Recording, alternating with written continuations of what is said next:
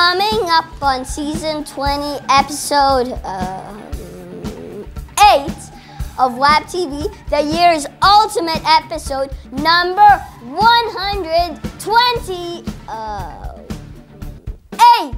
featuring the highlights, lowlights, and in between lights of the grade 4 camp and promo the United Student Council Yum! and Fun Day event coming up on May 25th. And something completely different from Rosalina and Rory. Hi, I'm Toby. I'm Emma. And I'm Chloe. Welcome to the show. That's brighter than President Trump's sentence and funnier than a puppy with a baby.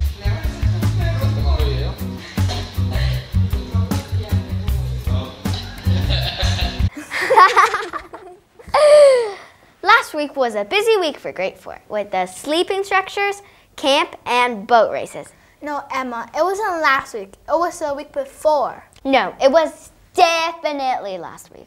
It was last week for us, but it's going to be the week before last week for them because they won't watch this until next Monday. I know this is a little bit Doctor Who with the whole time thing, but that's how it works. Got it? Got it. It was next week for them, but last week for Doctor Who because next Monday he's getting a time machine. Um, close enough. Let's go and check out highlights from this year's grade 4 camp.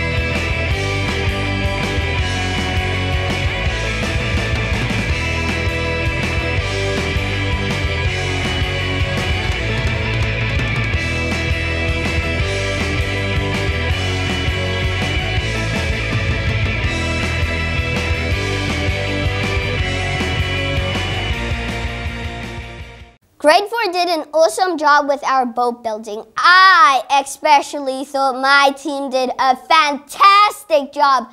Not only did our boat manage to hold four people, but it also managed to hold half the water from the swimming pool as well.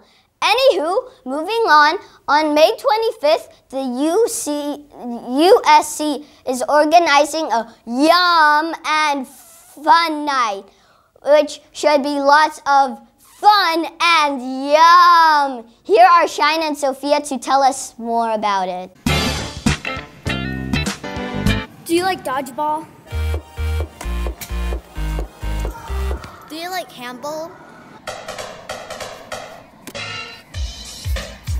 Do you like capture the flag? If you do, then you gotta come to the Yum and Fun Day. What's the Yum and Fun Day? Yum and Fun Day is where you play fun games and eat yum food. What's yum food? You know, tasty food. What day is the Yum and Fun Day? It's on May 25th, starting from 3:30 to 5. How do I sign up? You can ask your class USC rep to find more about how to sign up. Can't wait to have some of that yum food. Back to the studio. Now it's time for something so completely different. You might have think you have stopped watching WAB TV and tuned into another show by mistake. Wow, that is different. What show might you think you've tuned into? Um, I don't know. I was just trying to make the point that the next segment is very different from what we normally do on WAB TV. Really? So what do we normally do on WAB TV?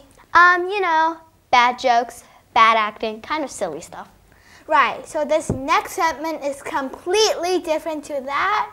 Actually, now I think about it, it's time for something completely normal. We are here to interview Mr. Cowell because we heard a rumor saying that this is his very last year at WAB TV. Is that true?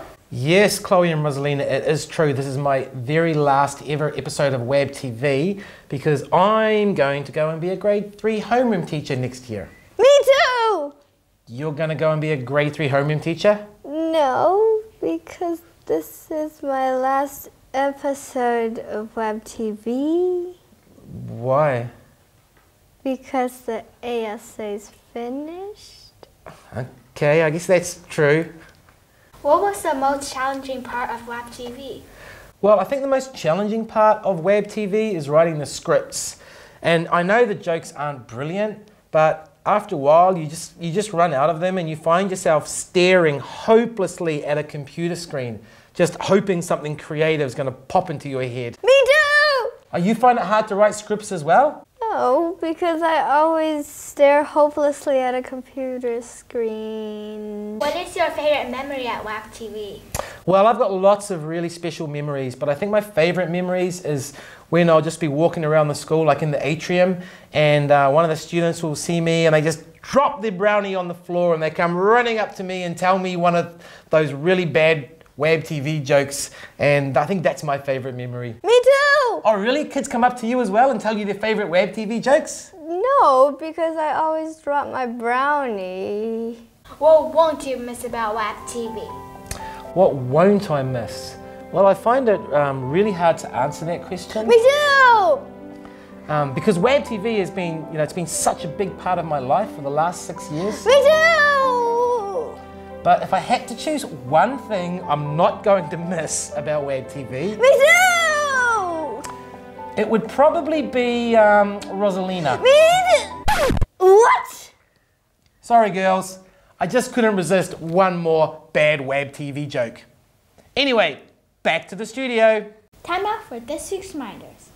If you're watching this on Monday, today is the last day to get your permission slips for the USC Yum Fun Day. If you are watching this after Monday, we have some bad news for you. Monday was the last day to get your permission slip for the USC Yum Fun Day. Sorry about that. This Friday evening is the Identity and Film Festival and Jazz in the Park in the Hub. Go like to Joe and Eric who submitted their fruit trap video. The day after that is the annual fun fair and rock in the park. Starting at 3 p.m. on that Saturday on Tiger Field and at the Hub. Bring your whole family and have a great day out. From Wednesday to Friday, grade 5 will be on their Wab Wild camp at Survivor Island. Stay safe, grade 5. Watch out for wild bears and tigers and unicorns and stuff. Unicorns? Well, maybe not unicorns or tigers or bears. Okay, grade 5. Watch out for getting some prickles on your fingers. Anywho, that's it for this episode. This season, This year, This era. so until next September, I'm Emma. I'm Toby. And I'm Chloe. You just watched season 20, episode 9. That's totally wrong, Toby. Is it? Oh, yeah, it doesn't even rhyme. No, Toby. It's not episode. Oh, whatever. Let's just watch some more Puppy with Baby videos. We're not the BBC. We're not your MTV. Cooler than Channel